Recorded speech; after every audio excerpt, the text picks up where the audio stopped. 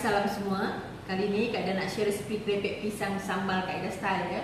Bahan-bahan dia kali ni Kak Ida menggunakan pisang nipah ya, pisang nipah yang cukup tua ya. Bukan muda yang cukup tua. Yang belum masak lembut lagi, dia keras lagi macam ni. Kemudian Kak Ida menggunakan air garam. Bila kita dah kopek nanti uh, kulit dia, kita akan rendam dengan air garam ya. Dan satu lagi Kak Ida nak bagi tahu boleh menggunakan pisang tanduk dan pisang nangka ya yang untuk goreng pisang saja. Yang pisang emas ke pisang berangan tak boleh ya. Dan bahan-bahan untuk sambal dia cili kering kisar, bawang besar dengan bawang putih, bawang putih sikit dalam seulas dua, Kak Ida kisarkan dan ikan bilis. Jom Kak Ida tunjuk cara-cara buat ni. Kita ambil minyak masak ni sikit ya. Minyak masak ni. Kita ambil tangan kita macam ni sebab uh, getah pisang ni nanti dia akan melekat kat tangan kita nanti ya. Okey. Letak macam ni ataupun pakai sarung tangan pun tak apa ya. Tapi Kak Ida letak minyak masak eh. Kita potongkan dia. Macam ni. Ha, kita buangkan kulit dia.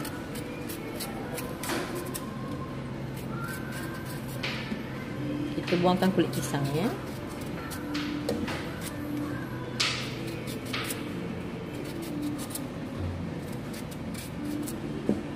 Ni. Okey. Dah bersih macam ni, kita masukkan dalam air garam ni. Kita rendamkan dalam air garam ya. Okey, kita buat lagi. Kita buat sampai habis ya. Okay, pisang ni.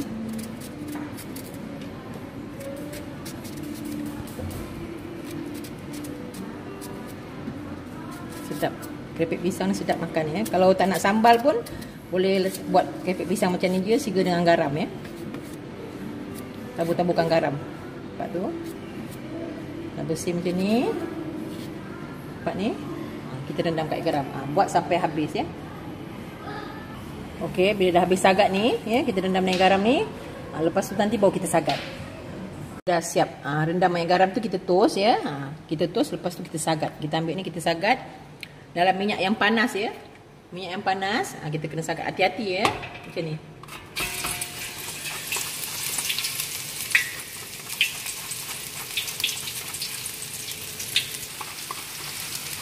Okey, kita sagat dia.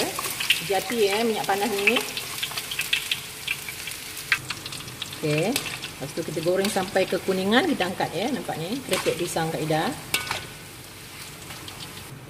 Okey, dah kekuningan macam ni, kita boleh angkat ya. Kita toastkan dia. Nampak ni. Lagi kita punya pisang goreng ni, ha, kita taburkan kunyit serbuk eh. Kita goreng kunyit serbuk ni kita taburkan dia. Nampak ni. Ha, kita taburkan kunyit serbuk. Jadi dia punya apa ni?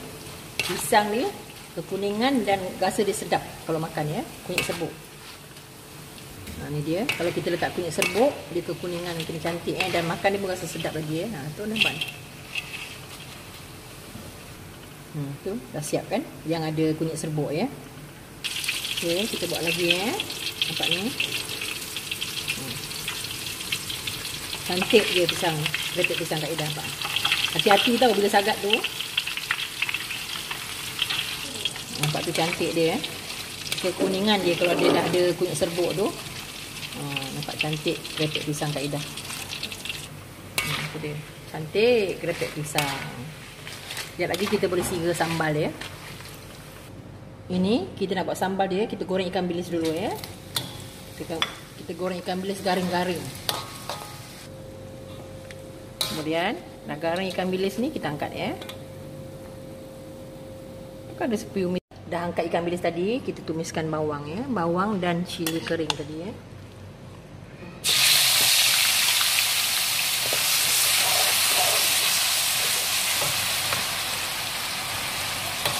Kemudian kita ambil cili ya. Sedikit cili. Kita tumis sampai garing ya. Kita letak sedikit garam ya. Kemudian letak cube ikan bilis ya. Kak Ida lupa nak beritahu tadi, cube ikan bilis letak sikit. Nampak ni dia punya sambal dah nak garing. Ha, dia kalau dah garing tu dia macam berbuih ya. Nampak ni dia berbuih ni dia dah garing ya. Nampak ni dia dah bubuh ni, kira dah garing ya. Lepas tu tak gula sikit ya. Tak gula dia ada rasa-rasa manis ya. Okey, bila dah cukup rasa, dah garing macam ni, kita masukkan ikan bilis ya. Kita masukkan ikan bilis, kita gaulkan dia. Ha, bila dah sejuk nanti baru kita gaulkan dengan apa ni? Ha, pisang krepek pisang tadi. Okey, ini pula kaedah nak tunjuk satu lagi uh, krepek pisang uh, bergaul dengan daun kari dan cili kering ya dengan bawang goreng memang sedap kalau makan nanti. Nanti kaedah tunjuk cara dia ya. Mula-mula kita gorengkan bawang dulu ya. Goreng hingga dia garing ya. Sampai kekuningan. Kalau kalau malas nak uh, buat bawang goreng ni, uh, pakailah bawang goreng yang yang dijual ya, yang dah siap dijual tu. Uh, boleh juga. Okey tu. Okey ni, barang apa ni bawang ni dah siap masak ya. Kita toskan dia. Lepas tu, kita gorengkan cili dan daun kari tadi ya. Kita goreng jangan sampai hangus ya, nanti pahit ya. Okey tu. Dah garing kita angkat ya, kita toskan dia. Nanti kita nak gaul bersama bawang tadi. Nampak ni. Okey, pisang tadi siap goreng ya. Satu yang kaedah sira uh, letak dengan kunyit serbuk tadi nampak ni. Kemudian kita letakkan garam ya. Ni ni. Ni. Kita letakkan garam ya. Kita gaul dengan garam. Ni. Ni yang kunyit serbuk tadi tu. Kita garam sikit ya. Okey, kita gaulkan dia. Ini yang goreng kosong ya. Okey, dia dah siap. Dah gaul dengan garam. Nah, kita ketepikan. Nah, ini untuk makan yang tak tak ada sirap apa-apa. Eh. Ini yang kosong dah siap. Yang ni kita gaulkan dengan bawang goreng. Ya. Bawang goreng tadi. Gaulkan dengan daun kunyit dan cili kering goreng tadi. Nampak ni ya.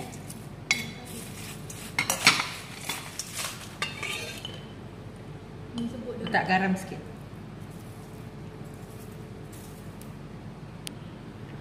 Okey, sorry eh, kita cakap daun kunyit pula. Daun kari eh, kita masukkan daun kari, cili kering dan bawang goreng tadi dan kita taburkan garam ya. Nampak ni kita gaulkan dia. Oh, cukup menyerakan. Ini salah satu kudap kudapan yang sedap ya. Ini dia. Ya, dah siap dah. Yang sekira dengan apa ni, gaul dengan bawang goreng, daun kari dan cili kering. Okey tu dah siap eh nampak nampak cukup menyederakan kaedah punya keripik pisang gaul dengan daun kari ni ya. Kemudian kita ambil yang nak gaul dengan sambal pula. Ya. Gaul dengan sambal. Ni.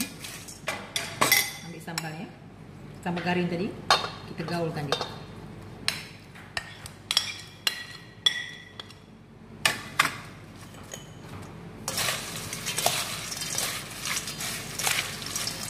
Ini repek pisang sambal Kak Ida ya.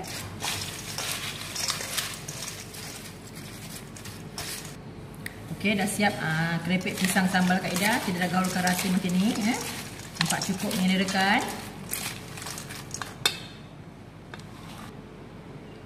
Tara dah siapkan krepek pisang Kak Ida. Ada tiga uh, style Kak Ida ya. Satu krepek pisang yang digaul dengan garam yang digoreng dengan serbuk kunyit dan satu krepek pisang sambal dan satu krepek pisang daun kari. Okey. Uh, selamat mencuba. Salam kasih sayang daripada Kaidah. Mudah, cepat, sedap menyederakan krepek pisang Kaidah style. Bye. I love you.